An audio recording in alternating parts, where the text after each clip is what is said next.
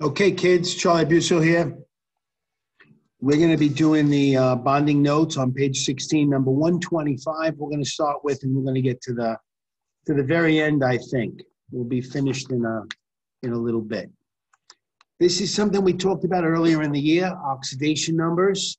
They're on the periodic table. They're known as the selected oxidation states. They're the numbers in the top right-hand corner. Now, if you're a metal, those numbers are always positive, and those are the types of cations you make. Sodium is a plus one in that box. It's a positive one ion. Uh, beryllium's got a plus two, makes a positive two ion. Titanium's got three positive numbers because it makes three kinds of positive cations, right? It can, can kind of flex and bend and make different kinds of cations. Now, for the nonmetals, there are negative numbers at the top. The very top number is the kind of anion it makes, but all of those numbers, positive and negative, for the nonmetals are called relative oxidation numbers. Excuse me, I'm drinking seltzer. And those relative oxidation numbers are used to help figure out the ratios of atoms to atoms, what's possible for molecular compounds. All right, so we're going to review that right now. So, long, long time ago in a galaxy far, far. You know, it's really funny. I just saw on the internet just a moment ago before I started this. There was a photograph of Alec Guinness. He played Obi Wan Kenobi in Star Wars, and Mark Hamill, who played uh, Luke. Uh, they were talking about it was Alec Guinness's 62nd birthday, and they were it was a photograph behind the scenes. They were all in costume, but they were drinking styrofoam cups, They're having a little toast with some warm champagne. They said for Alec Guinness's 62nd birthday. And, uh, and there it is. There's a quote from Star Wars. Star Wars is an important part of my life. And uh, I watched it when I was your age, and it really impacted me. I always wanted to live on a planet with two suns, like Tatooine. Okay, oxidation numbers, and we're going to learn about them again right now. So, hydrogen has a positive one and a negative one oxidation number. They're right in there. Oxygen has just a negative two. So when we when we want to figure out all the possible hydrogen and oxygen compounds, we use this little T-chart and we fill it in with H on the left and O on the right, and we write down all the oxidation numbers and we try to figure out what works and what doesn't work. So if we list H has a positive one and a negative one oxidation number, and O has just a negative two, we have to go through these to see what combinations balance. Now, the positive one and the negative two, we have to figure out, can we have a positive and a negative come together to add up to zero? Sure, but not positive one, negative two. We're gonna need two of those positive ones, which means we're gonna need two H's to balance against an O. So the positive one oxidation number and the negative two oxidation number for oxygen indicates that H2O is possible, of course, that's water. Now, if we looked at the negative oxidation number, there really is no way for a negative and a negative to combine in any ratio to sum to zero. A negative and negative is still negative. So that negative one oxidation number is not useful here. So we just put an X in it. The only possible combination is going to be H2O. There's no HO, there's no H3O, there's no other possible combinations of positives and negatives, simple whole number ratios, other than H2O. So we use these oxidation numbers to do stuff like this. We also can just figure out what the oxidation numbers are based upon the compound. So if we have hydrogen and chlorine, hydrogen has got two oxidation numbers and chlorine's got four. You put your finger in box 17 what are the relative oxidation numbers? What's the oxidation number for hydrogen and what's the oxidation number for chlorine? So let's see. Hydrogen's a plus one, chlorine's a negative one. And when we combine those oxidation numbers, they sum to zero. Perfectly good. But you know what?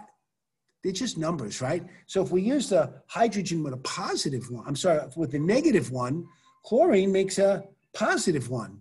So we can have it both ways these numbers just help us figure out what are the ratios. They don't really mean these are the ions that are forming. They're not. They're just numbers. So the numbers we have for hydrogen and oxygen show two combinations that work for HCl, but that means one to one is okay. Carbon dioxide. Carbon has three oxidation numbers, oxygen has just negative two. So we have one carbon and two hydrogens. One carbon, that's my phone, one carbon and two oxygens. Each oxygen is negative two. That means the oxygens provide a negative four. In order for carbon dioxide to exist, carbon has to be a positive four, and guess what? That works. The positive carbon, positive four, and two negative twos, that will sum up to zero. That means CO2 is possible. So if we have CO2, what are the oxidation numbers? Well, the carbon is a positive four and the oxygens are both negative two. Arsenic trichloride. Arsenic is element number 33, right? And if we look, chlorine is a negative one oxidation number and arsenic, there's got to be one of those. It can be a positive three, right? So if arsenic we say is positive three, the chlorines can each be negative one. One positive three and three negative ones sums to zero. So these are what are called possible oxidation numbers or relative oxidation numbers. These numbers mean these compounds can exist. Now, if they're molecules, they sum to zero, like sulfur dioxide. Sulfur and two oxygens. Each oxygen must be negative two. In order for sulfur dioxide to exist, sulfur has to make a positive four oxidation number, and it does. There it is. Now, for the chromate ion, this is not a molecule. This is an ion. It has a negative two charge. So its oxidation numbers are going to sum up to negative two. There are four oxygens. Each is negative two. That's a total of negative eight. What would chromium have to be to combine with a negative eight oxidation to give us a total of negative two? Well, if chromium, if you put your finger in box number 24, chromium would have to be a positive six, and that's possible. Chromium makes a positive six. So if chromium's positive six and each of the four oxygens negative two, that sums up to negative two, which is fine because this is a chromate ion. Now the permanganate ion, it's on table E, MnO4, negative one. We have four oxygens again. The oxygens are each negative two. That's a negative eight there. But the whole permanganate is negative one. That would mean in order for this to exist, the manganese, element 25, would have to have a positive seven. And guess what? That's a mistake because it is it does make a positive seven. I'm going to fix this right now. Who made this slideshow? Who made it? It's a negative one, and manganese is a positive seven. Look at that. Fixed. Fixed. Ammonia. Ammonia can be negative three for nitrogen and three positive ones for hydrogen. That sums up to zero. Oh, I got one little mistake still, right? Look at that. Sums up to a negative one. Who made this slideshow? Sometimes, you know, I think what happens is I'm trying to copy and paste and I change some things because it's quicker, but actually when you try to go fast and you take shortcuts, you screw it all up. Sodium hydroxide. Sodium's a positive one ion. When it's a metal, it's got to be positive one. There's no choice for that. Now the oxygen has a negative two oxidation number and the hydrogen's got a positive one oxidation number. And that's going to sum up to zero as well. KClO3, potassium chlorate. That's the name of it. Potassium's a plus one. Each of the oxygens is a negative two. Now the chlorines is a big choice. There's a couple. There's three or four of them. Well, let's do the ones we know. The potassium's a positive one. The oxygens are each negative two. So in order for this to sum to zero, we have to have a K, uh, I'm sorry, a, a Cl positive five. And that's possible. Chlorine has a positive five oxidation number. The, the combination just shows that these these formulas will work.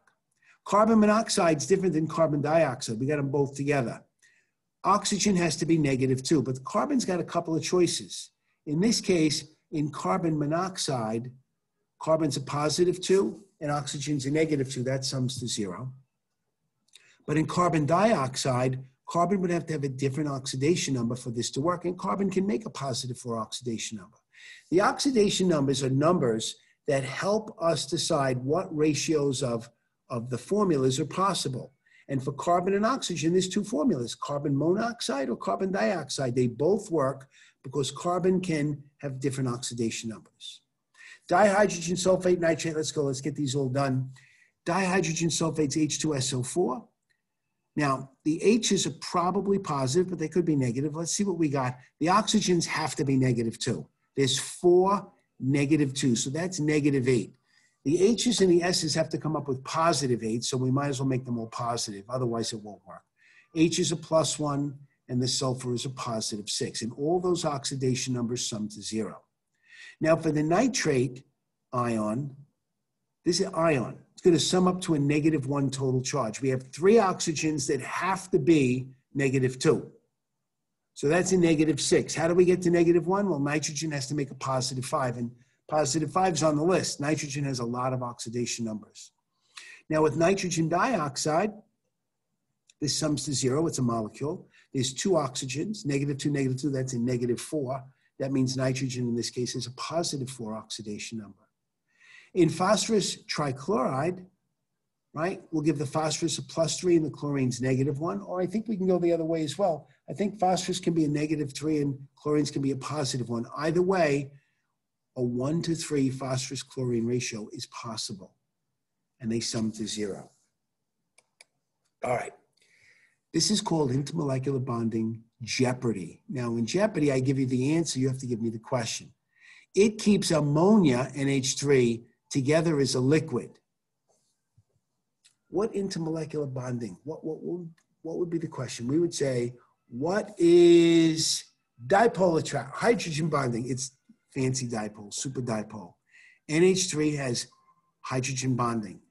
We have polar bonds and polar molecules that contain hydrogen, hydrogen bonding.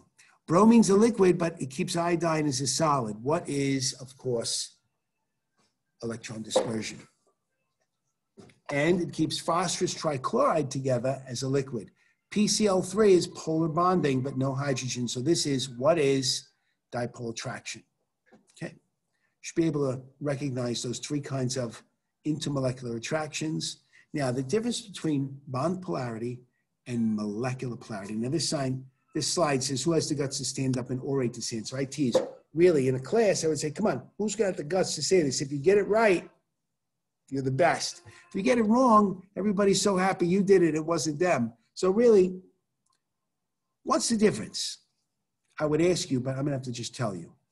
Bond polarity when there's a difference in electronegativity value. For instance, in water, the oxygen has a much higher electronegativity than the hydrogen. That means the oxygen pulls the electrons harder than the hydrogens. That means the oxygen side is negative most of the time. The hydrogen sides of the molecule are positive most of the time and those bonds are polar.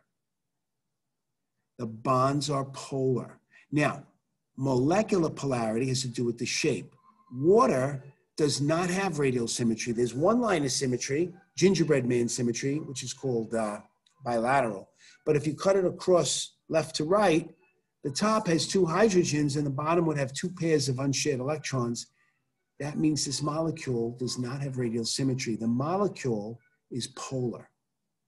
Now, CCl4, now honestly, it's going to be built more in a triangular pyramid shape, but when we draw it, it looks like a, an X. If you cut it down or across on either diagonal, you end up with one half of a carbon and two chlorines on both sides. This molecule that has polar bonds exhibits radial symmetry, which means all the polarity in the bonds is balanced. So this becomes a nonpolar molecule both water and carbon, di, uh, carbon tetrachloride have polar bonds, but water does not have radial symmetry. So water is a polar molecule, carbon tetrachloride is a nonpolar molecule. Now, there's a picture of the A train, Euclid Avenue. There's a long story.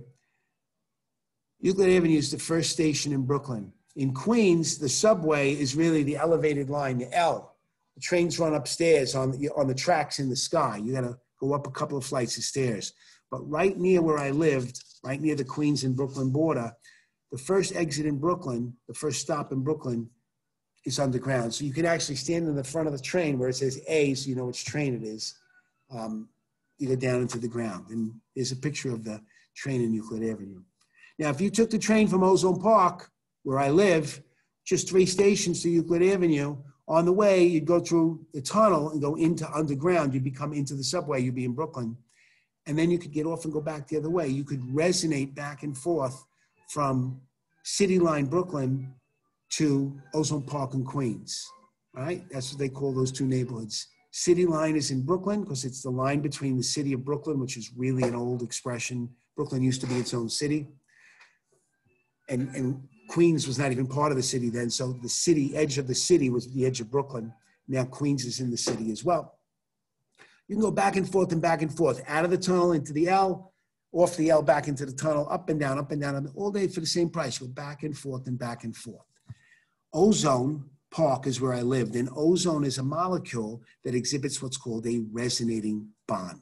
Look at these pictures here in the middle.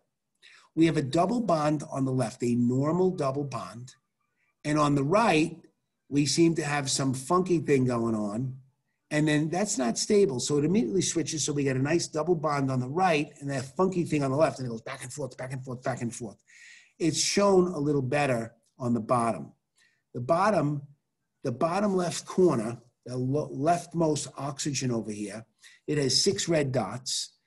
The oxygen in the middle has blue dots. And then look at that bottom right corner one right here. These dots are not bonding at all. These are actually unshared pairs of electrons. The, the bond in between the middle and the right oxygen there, it's not really a bond. But then it switches and there's a double bond on the right. Then it switches back and there's a double bond on the left. It goes back and forth and back and forth, just like you can do on the train. Once you get on the train, you go back and forth and back and forth. You just get off, go across the platform, you go the other direction. You don't have to pay again. Once you're in, you're in. You could stay in until they close the subway, which is hardly ever. They used to never close it. Now they've had a couple of hurricanes and the COVID thing has been a problem with cleaning. But it used to be you could get on the subway and live on it forever, right? You can get haircuts, you can eat restaurants, you could perform music, you, there's bathrooms. You could live in the subway. You could. Crazy. All right. Once and for all, carbon monoxide. This is not going to be working, right? Because carbon has four valence electrons and oxygen has six. The only way this is going to work is if they make a double polar covalent bond, and then those two extra electrons from the top of oxygen jump in the middle. Look at the dots on the top. Carbon's got four red dots. Oxygen's got six blue dots.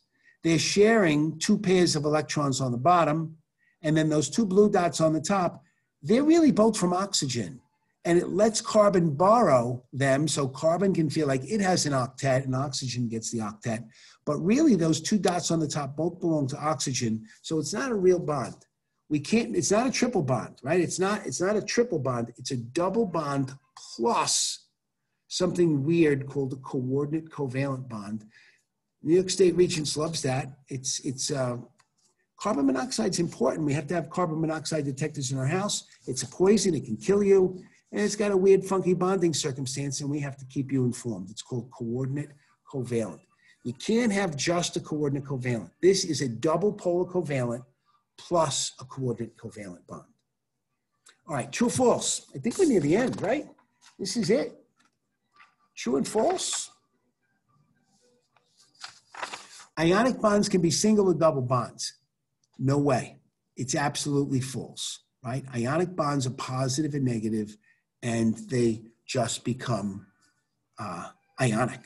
Covalent bonds cannot be nonpolar. Of course, it's silly. Anytime you have two atoms with the same electronegativity difference, there's no difference. That makes them nonpolar. So most of the Hunkelbrief twins that make single bonds, um, and a lot of other atoms that bond together have have uh, nonpolar bonds. Covalent bonds can be polar or nonpolar. Oxygen have double polar covalent bonds. No, Oxygen has double nonpolar covalent bonds because there's no difference in electronegativity. They are double, but they're nonpolar. Nitrogen molecules have double nonpolar covalent bonds. No, again, they do make nonpolar covalent bonds, but they're actually triple bonds. Hydrogen atoms can make single or double covalent bonds. No. Hydrogens have one electron and they have one orbital, which means they only can borrow one more electron. They can only make one bond. They're limited. They can't make more than one bond. O atoms, oxygen atoms, must make double bonds only, like an oxygen O2, right? No, water is a good example. They have to make two bonds. They can be double or they can be both single, but they do have to make two, but not necessarily just double. Water is sometimes a straight line molecule by shape. Never. We're talking about the end of life as we know it. Water has to be bent, it has to be polar. Because it's polar, when it freezes, it creates that hexagon shape that allows the, the density of ice to be slightly less than the density of water and it will float. If it was a straight line, water molecules would freeze into a brick shape. They'd be more dense than a liquid. They would sink, and then probably in 50 years, all the water on Earth would be frozen, except for in the summer. Some of it would melt at the top, and then it would freeze in the winter. There'd be no life on Earth. So if you ever draw water in a straight line, basically you're saying the end of life on Earth as we know it is coming. Molecules with polar bonds can never be nonpolar molecules. Totally false. Carbon monoxide, I'm sorry, uh, carbon tetrahydride, methane, four polar bonds, but they have radial symmetry. Molecular polarity and, and bond polarity are different. You can have polar bonds that are balanced. Carbon dioxide has double polar covalent bonds, but it's got radial symmetry. Molecules with nonpolar bonds only can never be polar molecules. All right. If you have nonpolar bonds, you can never be polar. That's not true either, right? NBR3 is in the shape of a triangular pyramid with three bottom corners in the middle, no top, right? It's kind of like a like a, a spider almost.